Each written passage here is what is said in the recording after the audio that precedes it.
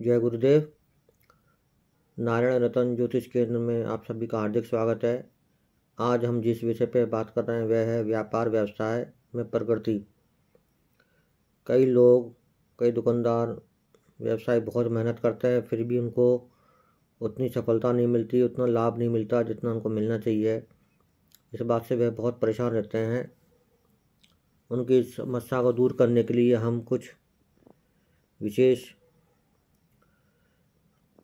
प्रयोग किए हुए सरल उपाय बता रहे हैं।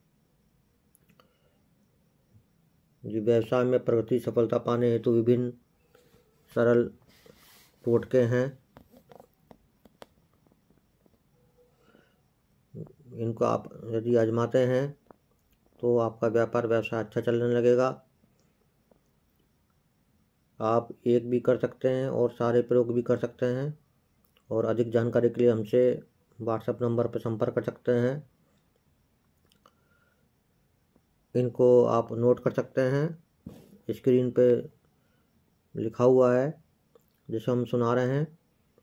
पहला है, व्यापार संबंधी कोई भी पत्र व्यवहार करते समय उस पत्र पर हल्दी या केसर का तिलक लगा दिया करें, इसके छींटे दे दिया करें। फिर है, कार्यालय, दुकान शोरूम आदि आदि खोलते समय सर्वप्रथम अपने इष्ट देव का स्मरण अवश्य करें। धन संबंधी या व्यवसाय संबंधी कार्य पर निकलने से पहले वांछा कल्पलता यंत्र सिद्ध करा हुआ अपनी कमीज के ऊपरी पॉकेट में रखकर जाएँ। यह यंत्र हमारे कार्यालय से प्राप्त कर सकते हैं। या सिद्ध श्री यंत्र घर की पूजा स्थल पर स्थापित करें। शुभ कार्य हेतु अथवा धन संबंधी, व्यवसाय संबंधी कार्य पर जाने से पहले दही व गुड़ खाकर निकलें तो सफलता मिलती है। सर्वप्रथम हिंजड़ों को वस्त्र व कुछ रुपए दान करें। उसे प्रसन्न करें, फिर उनसे एक रुपये का सिक्का प्रसाद रूप में उनसे मांग लें और वह सिक्का कैश बॉक्स में, तिजोरी में, लाल कपड़े में बाँध के रखें तो व्यवसाय चमक उठेगा। सिद्ध किया हुआ श्वेत अपामार्ग जिसको ओंगा भी कहते हैं, उसकी जड़ व्यावसायिक स्थल में रखने से व्यवसाय में अपार वृद्धि होती है।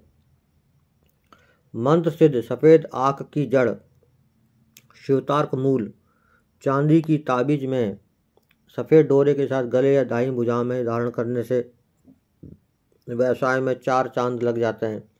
आजमा कर देखें, चकित हो उठेंगे।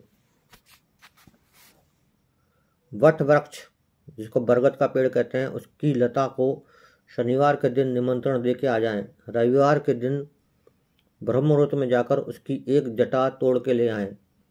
उस जटा को घर लाकर गूगल की धुनी दें, गूगल का धूप जलाकर दिखावें। फिर कैश बॉक्स, तिजोरी या रुपये पैसे रखने वाले स्थान पर लाल कपड़े में लपेट कर रख दें। इससे भी व्यापार व्यवसाय अच्छा चलने लगता है। उल्लू, जो कि वास्तव में लक्ष्मी का प्रतीक है, इसका प्रमाण आज भी है। जिन व्यवसायी ने इसका प्रयोग व्यापार चिन्ह के रूप में किया है, वह करोड़पति बन जाते हैं। जो भी व्यक्ति उल्लू पक्षी का चिन्ह अपने व्यवसाय स्थलों के मुख्य द्वार पर लगाते हैं, वहाँ लक्ष्मी अवश्य निवास करती है। आप उल्लू का पंख लेकर लक्ष्मी जी के चित्र के नीचे रखें। लाल कपड़े में उसको मंत्र सिद्ध करके, अघोर लक्ष्मी मंत्र से सिद्ध करके उसे अपने कैश बॉक्स में रखें बॉक्स में रखें तो भी व्यापार व्यवसाय अच्छा चलने लगता है।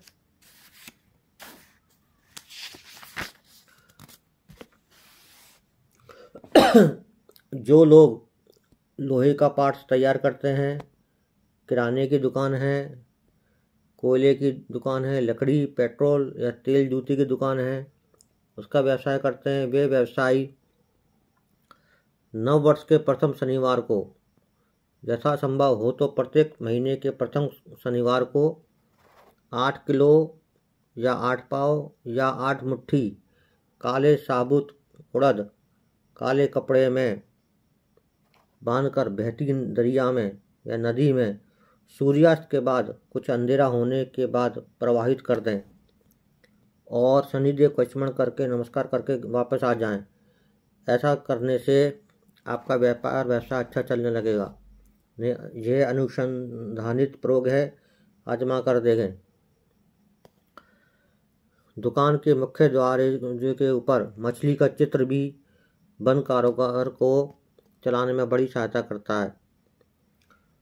मुख्य दरवाजे के बाहर एक एक या तीन तीन या पाँच पाँच की संख्या में फूल के गमले रख दें।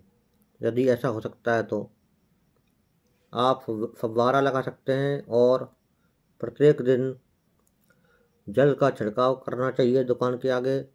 इससे भी व्यापार वैसा अच्छा चलता है।